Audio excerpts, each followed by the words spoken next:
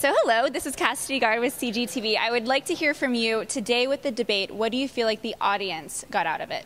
Well, I mean, I hope that the audience got some, some clear distinctions between left and right. I mean, Sally's view of the universe in which America is a racist, sexist, bigot, homophobe country, and that the main goal of government is to bring us all together. And that's sort of the view of the left. My view is that individual liberty is what brings us all together, and we're not racist, we're not sexist, we're not bigot, we're not homophobe. We're a nation of individual rights.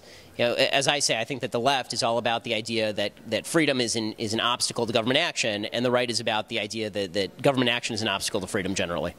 What do you think about media and the kind of firestorm that can happen when something semi controversial happens and you're on the side of it, trending in Google News and your name's being quoted? What does that feel like?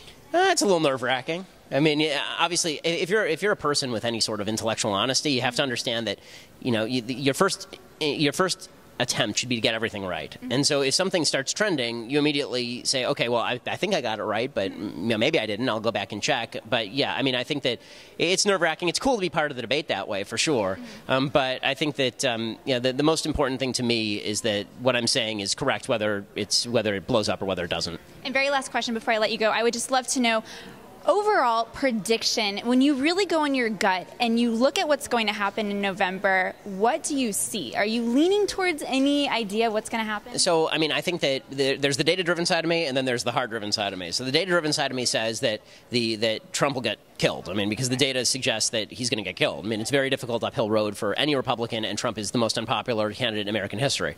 Uh, on the, the narrative side of me says that Anton Chekhov, the playwright, he, he once said that, that plays, a good play, there's a gun over the mantelpiece, and you don't put the gun over the mantelpiece unless it gets used in the second act. And there's the narrative side of me that says that Trump is the gun over the mantelpiece, and the American people like a small child cannot keep their hands off of it and just they can't wait to see what happens next. It's too good a show.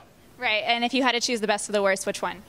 I mean, the best of the worst short term is Trump. The best of the worst long term, I think, is Hillary, because I think that what, I think that Trump is going to absolutely carve the heart out of the conservative movement and turn into a European far right populist movement, which I don't approve of.